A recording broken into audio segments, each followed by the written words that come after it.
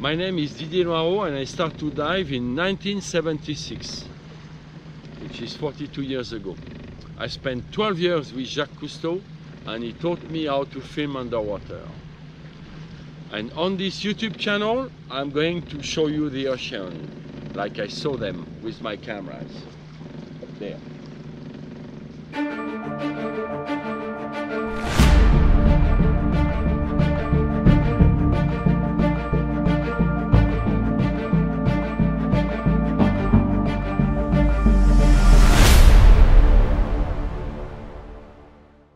Welcome to Subimagery and Didier Noirot YouTube channel.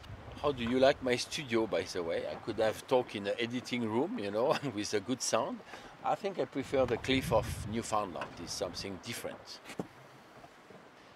When I was a kid, one of the first books I read was Moby Dick. We all know Moby Dick. But that book was a bit different. It was an illustrated version with nice drawings. And on the cover, you could see the fisherman in the jaw of Moby Dick. I was terrified. Imagine uh, 10, 12, 14 years old. I, I, was, I was 10 years old. Yeah. Imagine a 10 years old boy reading this and uh, looking at looking at this picture. I mean, I had fear of sperm whale. I never I wanted to dive with sperm whale. And guess where was the first time I saw a sperm whale? That was on board Calypso with Jacques Cousteau in Philippines. So he said, hey, hey, sperm whale, go. Uh, no, no, no, no, no, no, no. Yes, yes, you go for sperm whale. Uh, are you sure, Captain? Yes, you go. Ah, okay, I go. So I went, and uh, in fact, uh, I discovered a very shy animal. Of course, we were a bit noisy. We did not have a rebreather at this time, and that was complicated. But anyway, uh, I saw my first sperm whale. But um, I mean, at least I broke my fear. So when I returned in Sri Lanka, I had the chance to see many, many sperm whales together, and I discovered fantastic animal. So that journey will take you to the sperm whale. This series will talk about whales, any kind of whales, humpback, southern right whales, blue whales, all these kind of whales that uh, we want to see and sometimes it's uh, complicated. And like for example, which one is the best whale to dive with? Definitely the humpback, but the humpback is a tricky animal.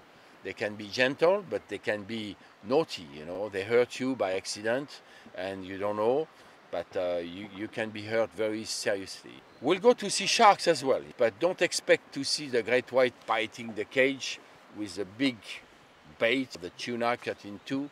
No, I want to take you to a special trip where you will see hundreds of silkies before they disappear, maybe.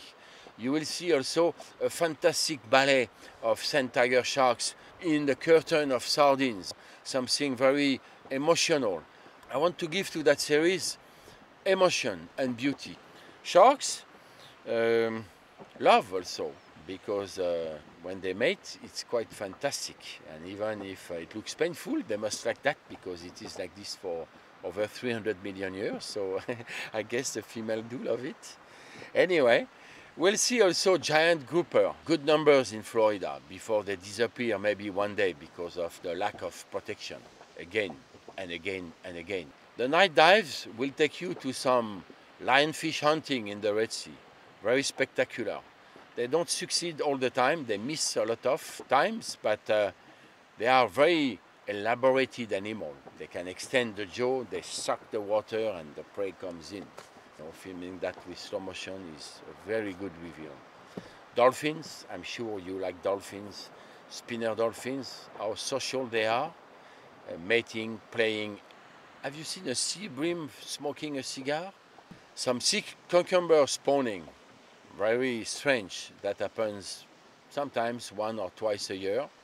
You have to be there at the right time, at the right moment. And if you have never seen a crocodile underwater, come with me. But maybe not, you know, it's very scary. it's a very scary dive, so I don't suggest it is for everyone. The journey will take you also to see probably the most gentle whale, the southern right whale. They are very big, massive, 70 tons sometimes, and they just come to check on you. And they come right there, they know you are here. I remember this time, a whale came above me. It looks like a big black cloud. It was total darkness under the belly. But the whale stayed about two feet above me without crashing me on the bottom. I had my space, and probably she liked my bubbles coming alongside the belly, you know, so that was quite fantastic. Rare encounter with a beluga as well. A wild beluga stayed in a place in Newfoundland for a month and he came to see the divers. So I could not resist. I had to fly back from France and to dive with that beluga. So welcome to that series and I hope you will enjoy. If you like the series, please click subscribe. If you don't, put me straight into the bin. So I suggest you sit back, relax, and watch the show.